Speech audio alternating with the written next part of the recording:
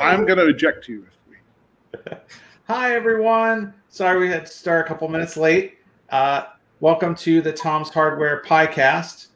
Uh, as always, I'm Tom's Hardware Editor in Chief, Avram Piltch, and I'm joined, uh, as always, by Raspberry Pi expert Ash Puckett and Associate Editor Les Pounder. And today we have a guest who needs no introduction Raspberry Pi founder, Raspberry Pi trading CEO, Eben Upton, and his daughter. How are you doing?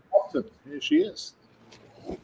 She was very keen to participate in this Afra. I'm going to send you away if you faff about, okay? We definitely appreciate her joining us today. Thank you. Yeah. Wait. Is she programming in MicroPython yet? She is not programming in MicroPython yet, but I think she's probably not far away from programming in, uh, in Scratch. So that'll be fun. Not bad. Yeah. Wow, great set of tonsils as well. It's, it, I mean, you know, uh, I mean, it, it kind of goes without saying uh, for folks who are familiar with Raspberry Pi, but like, you know, it's been a great tool for for kids. A great tool for kids. It's been a great tool for me with my son. We do like nothing but Pi projects all the time. Now we're going to be mixing in some Pico Pico projects. Uh, he and I, he's eight, and he programs in MicroPython, and Yeah. like, and he and I were like working on. I showed you this before. Working on this our first uh, Pico project, where it's just like a Simon game where the different uh, LEDs light up different colors, and you got to use the joystick to match them. We're almost we're It's almost a great age, right? I mean, I think eight is a great age to start getting involved in that because you're, you know, a little bit, you know, you know some math, um, and you've got the kind of. I mean, a lot of it's actually mechanical dexterity. I think that's one of the reasons why Scratch is so good for younger people. Uh, why Scratch is so good for younger people is because you don't need to be able to hit keys on the keyboard. Um, so you know you can do it with just kind of dragging things around. So, but by eight years old, people can hit the keys reliably, and so you don't have that kind of frustration factor that comes with trying to do text-based programming when you're just a little bit younger, a little bit clumsier. So that's awesome. Yeah, yeah. I mean, it's it's it's it's it's cool. I mean, he's constantly trying to push me to do stuff. It's like, hey, what if we made a robot that used OpenCV to recognize someone's face, and then it drove toward them and stuff. And like, you know, we're like, yeah, okay, I'll have to figure that. out. We'll have to figure out how to do that. Do that tomorrow. So it really helps us push the envelope. So speaking of pushing the envelope, this is such an exciting time. Raspberry Pi Pico, a completely new new platform. What made you just? I'm just curious. How long have you been working on this, and what made you decide that it was time to to come out with it? Well, so the team's been working on this, I guess, for a couple of years. Um, it's been a, um, I mean, it's a complicated business, right? I mean, building, um, yeah, building this kind of platform is not straightforward. I mean, obviously, you know, I think what people have to remember is that this is a relatively, um, a relatively simple device. Afra, if you're not quiet, you can't start the call. Um, it's a relatively straight, simple device compared to the devices that are in the. Um, are you going to? Are you going to extract my daughter out, please? Because I'm doing the Tom Tarter thing. She's she's actually been very well behaved. Do not kick my shotgun. you. There we are. This is the life we live. This is it. This is the life we chose. That's not the quote, though, is it, actually? Um, yeah. This is this this is. so so look, it's a um, it's a um, I'm gonna I'm gonna wantonly drink champagne. Um, yeah, this is a simpler device um, than the um, main processor in the Raspberry Pi.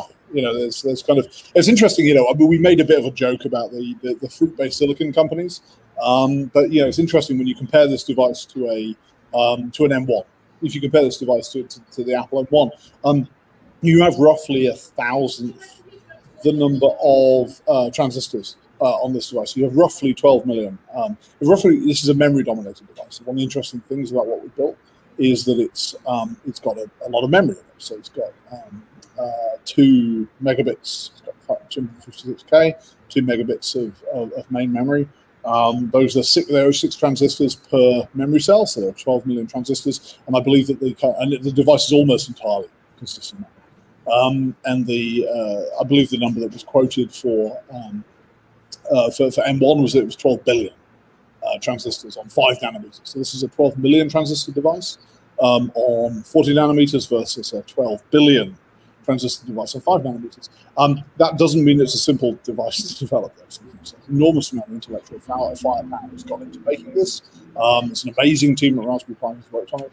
Um, and we, I, no, I really do think that it's, it's, it's, I think it's the best microcontroller you could have made. Actually, it's, it's really an enormous amount of effort gone into it. Um, and there's just kind of attention to detail. So, I think when we, um, it's a hard thing to get across. and obviously, you've spent some time playing with it now, so I think you're probably starting to get a feel um, for the device. But it's a, um, it's a, it's hard to get across in numbers what an interesting device. What an interesting device Um, yeah, particularly if you look at the the way the bus fabric works on the device. You know, you have two processor cores, you have a DMA read channel, you have a DMA write channel, and all of those things can be working um, independently. You, know, you can arrange to get all of the performance out of both cores, all of the read performance out of the DMA, or the write performance out of the DMA, and all of those things can happen at the same time. And a lot of attention went into making sure that was the case. Obviously, PIO is this, this programmable I/O subsystem. I don't know if you've had a chance to play with yet, um, but yeah, there is this wonderful, and I think probably the most innovative thing in the chip, which lets you um, bit bang this idea that you know, a lot of what people do with um, microcontrollers is microcontrollers come with a fixed set of peripherals, and there's an enormously rich world of taking microcontrollers and doing things with them that they weren't supposed to be used for. So, for example, the two, this thing called 2006 Raspberry Pi. Um, if you go look on our blog, there's a, a, thing that I built back in 2006, um, which is a, a, piece of veroboard about this size and has an Atmel microcontroller, same microcontroller that's used in the, the kind of classic Arduinos. Um, and that's bit banging video. That's generating a video signal. It's controlling a half half megabyte 412k um, SRAM, and it's generating the video signal out to a PAL television.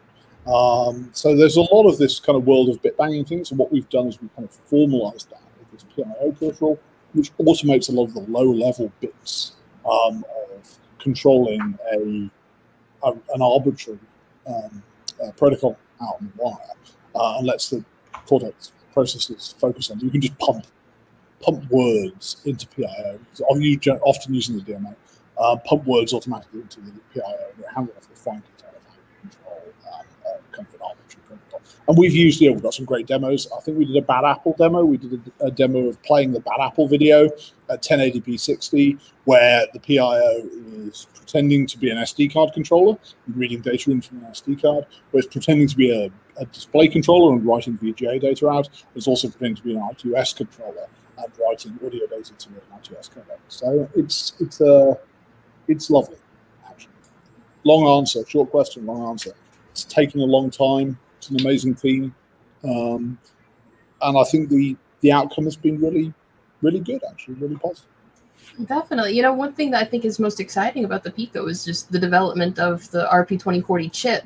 And I want to know what led to the decision to use ARM when creating the RP2040. Um, it's interesting. The ARM we've had a few people ask us questions about that. There's um, oh, RISC-V is obviously the now the the the kind of alternative architectural choice.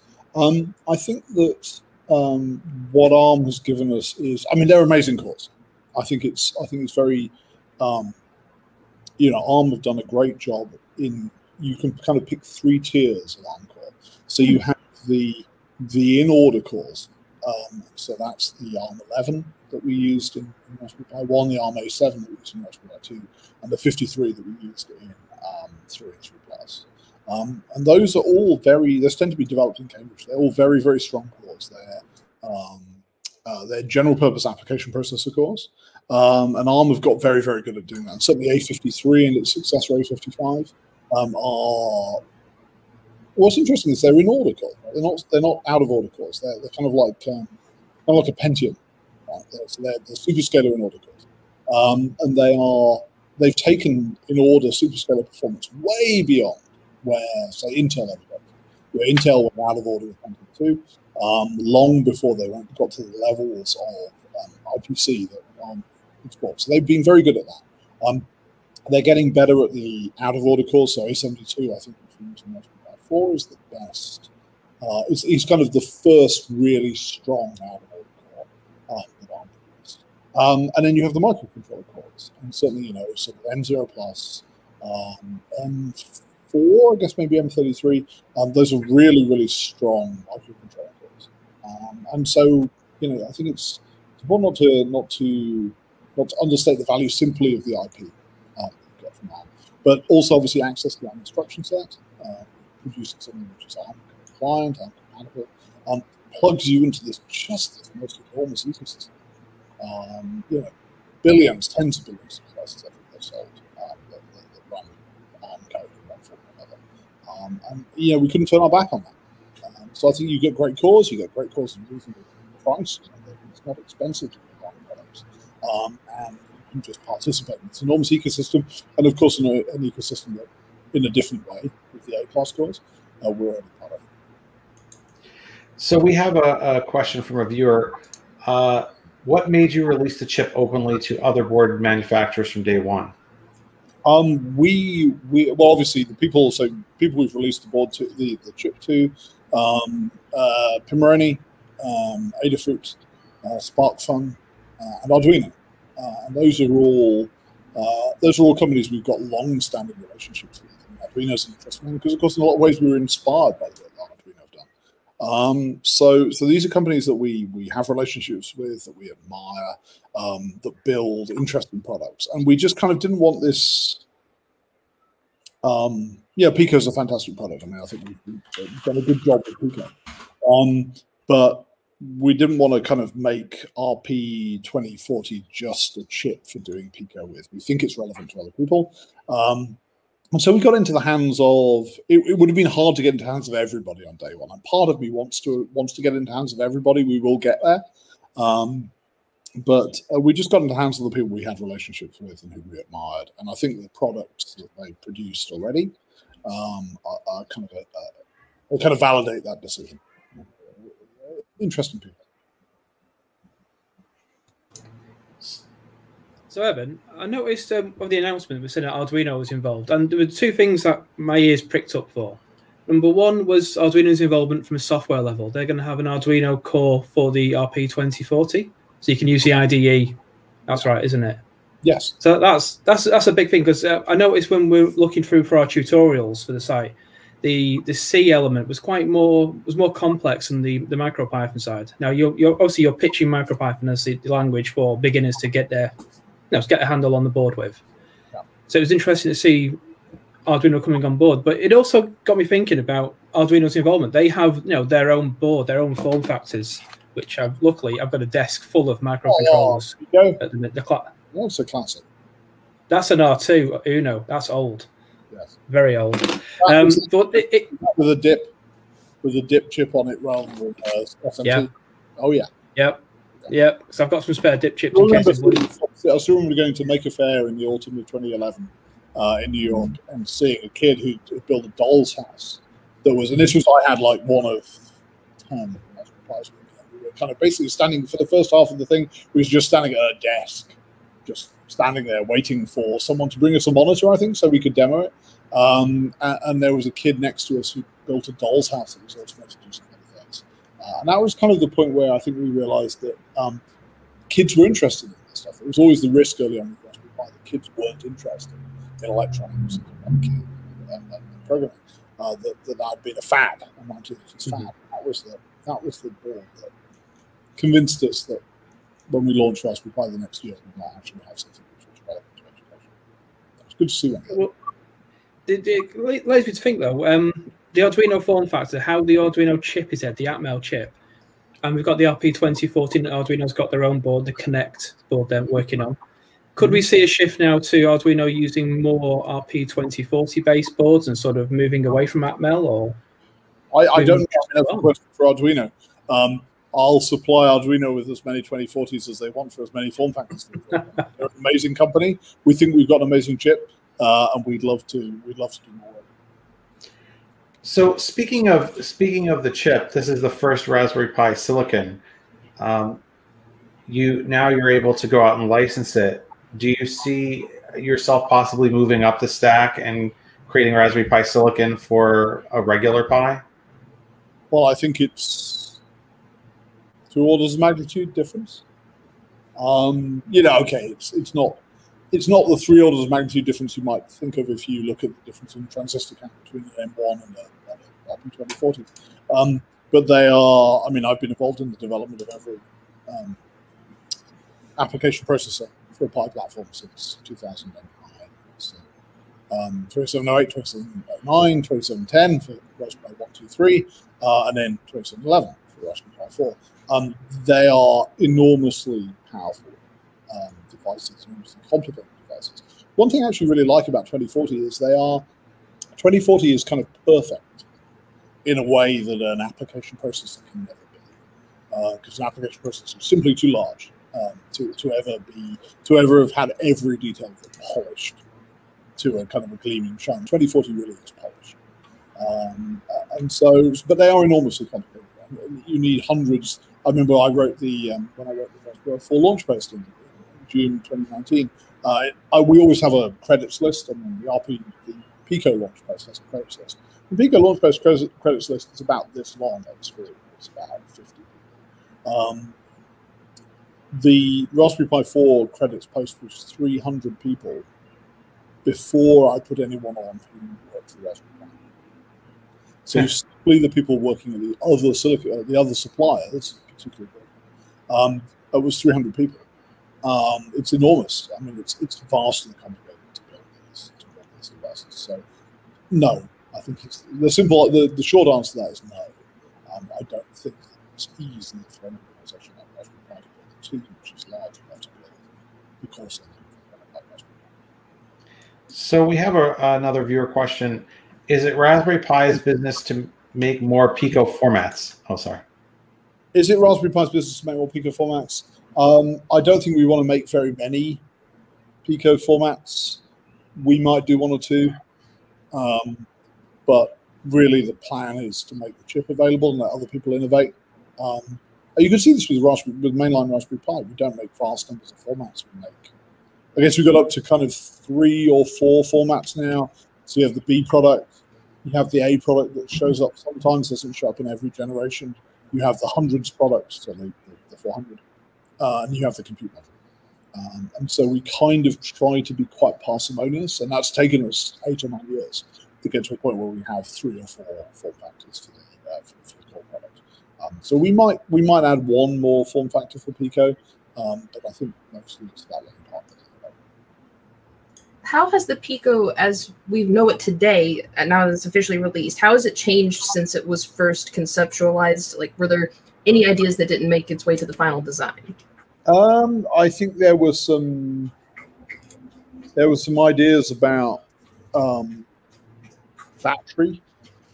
So there were some ideas about battery connectors, um, and it's a so the power chain probably. I mean, you look at Pico, it's largely a breakout board for um, for RP2040, and of course you can see from how simple it is and how well it works on two layers that the board itself was co-designed with the package.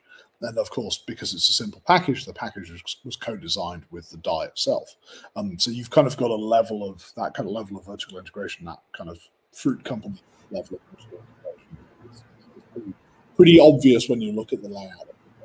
Um, beyond being just a breakout board for the for the core silicon, um, it, it, has um, an interesting power chain. So it has this buck boost. We have a rich type uh, boost converter on there, so you can feed either more than so to generate 3v3, which is the rail from which all of the voltages you can feed it either less than 3v3, in which case you boost, or more than 3v3, in which case you buck um, down. So a switching. Um, there was some thought about whether to battery charging, put LiPo management on the board. Um, and I think we couldn't find a cost effective way to get to both the kind of very broad voltage, broad supply voltage, um, and the uh, and, and, the LiPo um, management in a, good price point. Um, and then, of course, there was the question about what kind of connector do you put on there.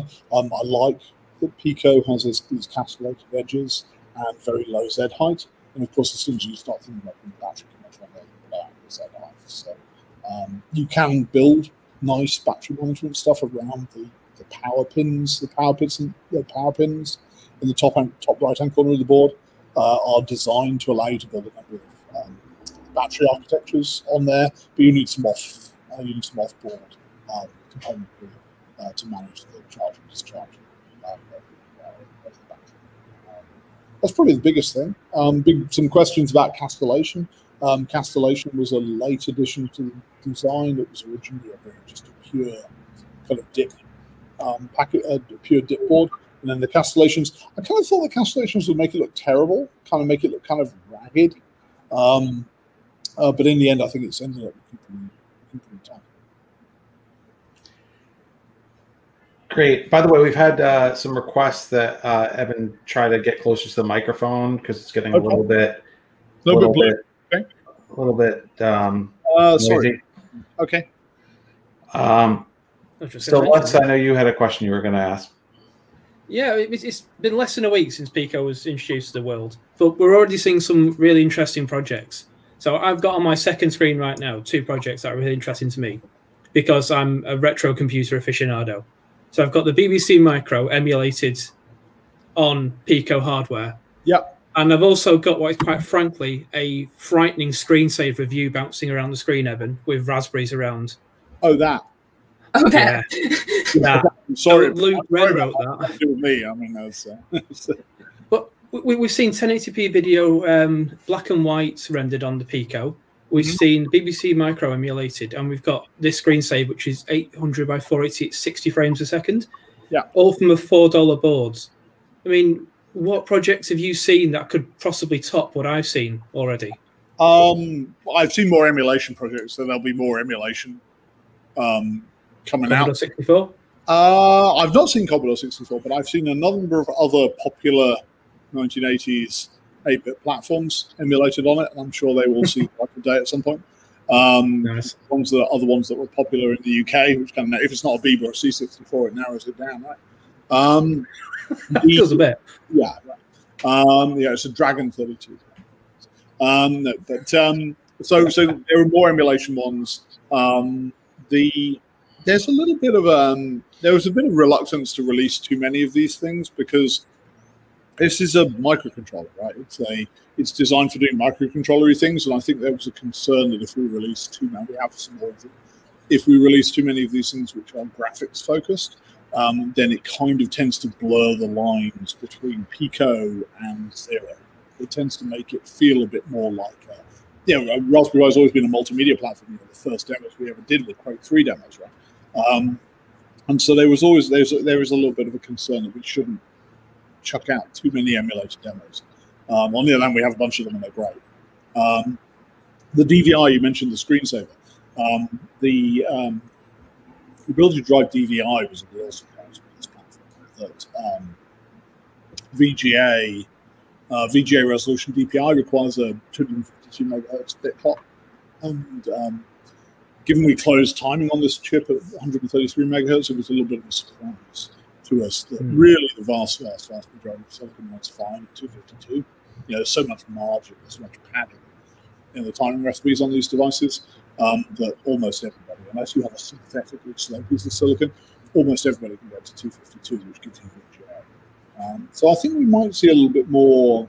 We might see a bit more focus on that because I think that's that's interesting.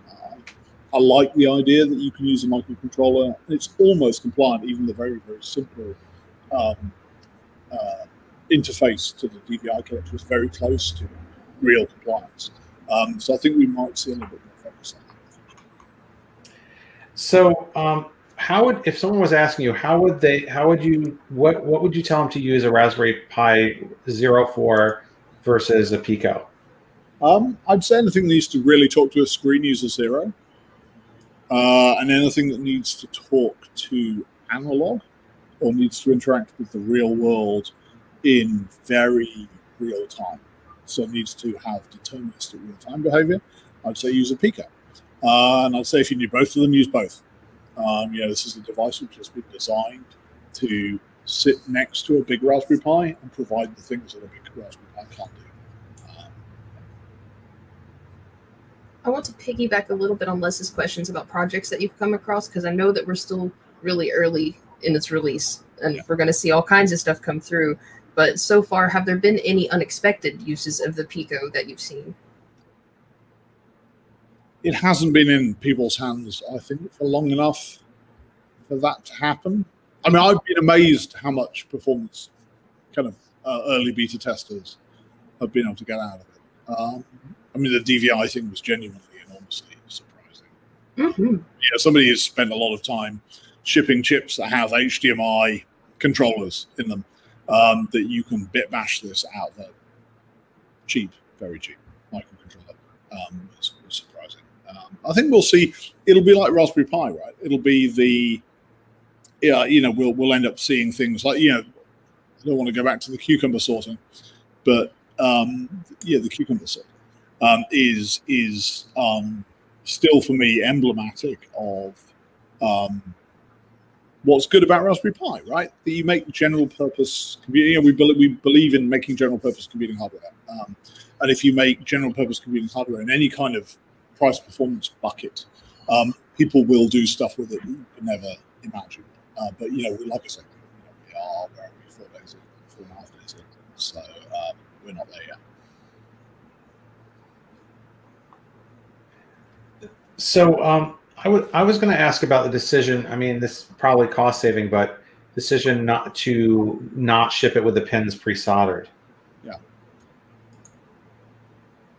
Some of this was about. Um, so I got sent a bottle of champagne to, um, congratulate my directors to congratulate me on the so uh, I thought it was an appropriate time to drink it.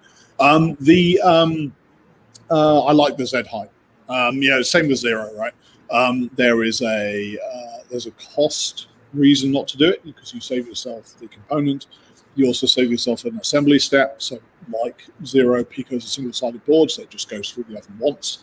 Comes through on panels of um, 24 boards. Uh, in the case of, uh, I don't know what the, what, the panelization for zero is. I think I have it in mind. It's either 12 or 15. And on Pico, the panelization is 24. So it comes through 24 on a kind of an A4 sized um, uh, uh, uh, sheet of PCB. Goes through the oven once, uh, and then you break them out and you're done. Um, if you put through hole components on, then like a header, you've got to go through either wave solder or selective solder, so there's an extra process step. Um, you then end up with an object which is physically larger. So one of the nice things about um, uh, Pico is we ship them on reels, so they're physically very, dense. Um, uh, and, and you'd give that up. Um, so that's the thing. Uh, what we have done is we've talked to our approved resellers and we've encouraged them to, if they do choose, because of course they can choose to um, pre-populate headers. Um, what we've done is we've encouraged them to populate with male headers that point downwards.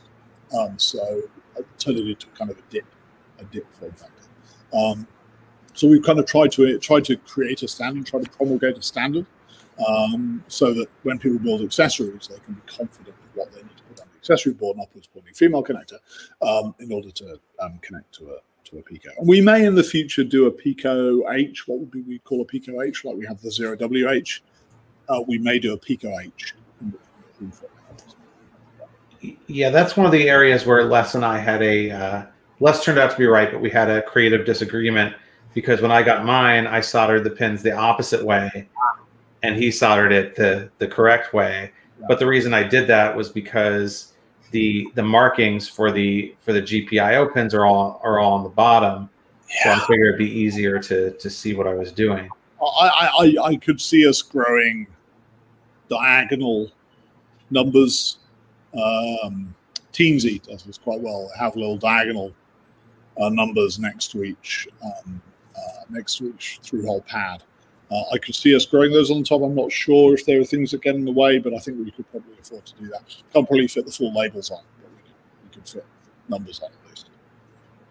Yeah, uh, but it's uh, you know it's it's e- it's easy enough to do the other way. I I I foresee obviously we're already seeing from Pimoroni a, a huge ecosystem of products, and I can foresee everywhere that Arduino has been uh, th- this this board going. Uh, so uh, We oh, love right? I mean, Pim are fantastic, and we're all you know we, we've got four great launch partners for this silicon. Um, but you know, I mean, Pim just they're, they're like a machine, right? I mean, I, I still remember seeing Paul in when was it? It's got to be June of 2012. No, because you know Paul designed our logo um, long before he Yep. founded Pim. He designed our logo. Um, and we met up with him in Sheffield at the um, there's an old steelworks that's been converted into kind of an exhibition space there. We were there for a retro gaming um, exhibit, and he was there and he had this prototype of the Pibow, and he had it just like look at this, and this kid, this girl, ten years old, walked past and just she saw it, and her head just went like like that. She just like head just snapped around and looked at it, and I'm like. These guys are gonna, it's before they founded the company, before he founded the company. I'm like, these guys are going to make a heap of money. They're going to make a big, business. Um, it's been wonderful to see Pimoroni grow, and of course, you know they were they were some of the first people we wanted to tell. I, I'm not good at keeping secrets, and Paul was in the office, and I was like, just go and look at that. Because they've been a product called 32 Blit, which is a um, they've got this Pico system product they built on 2040, but they have a larger product ecosystem. Uh, no, sorry, 32 Blit. Um, and I was like, Paul, just go and look over there on that monitor. And I think it had the bouncing heads demo or one of the other early, uh, one of the early just video out demos on it. Just go look, go look at that. We'll talk about it in six months. And I'm just amazed with what they've done. P- uh, Pico system is is going to be amazing. You might have just answered the question I have, but I do want to know. Well, first, I'm re- I know that a lot of people are appreciative that you got the RP 2040 in the hands of third-party developers before releasing the Pico because we have so much to choose from. It makes it a lot easier to jump in and get started. So, with that being said, are there any particular third-party accessories that you're looking forward to that may not have been released yet? Um, I think there are there are other Pimoroni things that aren't on in the blog post. So there's I think a unicorn hat and there's a scroll hat. So you know they do a big line of these grids of LEDs. Um, so I'm looking forward to I'm looking forward to that coming out. Um, the um, I don't think they've yet launched the um, the VGA board. So there's a board which is a version of our board. So we did a uh, Mike Simpson I did a, a demo board. Um, oh, there we are. That looks familiar. Um, so they did a demo board, um, and then Pimoroni have taken that and they've applied that kind of oh, blimey, um, oh blimey. Um, the they've done a version of it and they've applied their Pimoroni done in black piece. Mm. They've applied their kind of Pimoroni um, design um, uh, aesthetic to it. Um, so that's that's a fun one. And of course, that's the one that unlocks. By the time that launches, we have to. We haven't released all of the. We haven't released the BBC Micro emulator. We haven't released the other emulators. We haven't released the bad Apple stuff. Um, so there's a um, there, there's a heap of work we need to do on the video side before they get that board in the market. So looking forward to those. Um, I'm looking forward to getting RP 2040 to more people as well. So um, uh, you know, there's there's a world of you know the lesson of Raspberry Pi is when you make a cool platform, you put it in the hands of people that do amazing stuff. Um, we've done what we can with getting RP 2040 to people, uh, but next quarter when we can actually get volume silicon um, to a bunch of makers, I'm sure they're going to do some stuff. So um, we have time for one more question. I think this is the uh, I think this is a question a lot of people would have, which Pimoroni sort of has an answer for because they are coming out with a Wi-Fi board. Uh, Baz Channel asks, any plans for Pico W with with Wi-Fi? Uh, not at the moment, but we do hear people asking. Uh, it's the obvious thing that we, it's the obvious thing that the board doesn't do. Um, it's a capability we have. Obviously, we do we do a zero W. And all of the big Raspberry Pi products since 2016 have Wi-Fi. Um, so it's a thing we're interested in. There are some architectural challenges in that all of the products we do with Wi-Fi at the moment are Linux products. Um, therefore, the software architecture for doing Wi-Fi on a microcontroller would be very different. And so there's a piece of work we need to do there. Um, but we are interested in it. We hear people asking for it. Obviously, in the short to medium term, it's something that's going to be um, dealt with by partners, either with accessories, Pimoroni, uh, or um, uh, on a RP2040 based product like the uh, like the Arduino product. So we think people are going to be well covered. Um, I suspect at some point we will we'll go and look at something else. Fantastic. Well, thank you so much, Eben, for joining us. This is such a always such a privilege to have you, and and we're so excited about the Pico. Well, thank you for having me, and thank you for um, thank you for providing an audience for my co-conspirator.